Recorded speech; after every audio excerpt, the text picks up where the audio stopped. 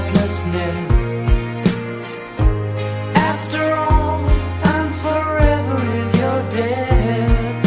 And woman, I will try to express my inner feelings and thankfulness for showing me the meaning of success.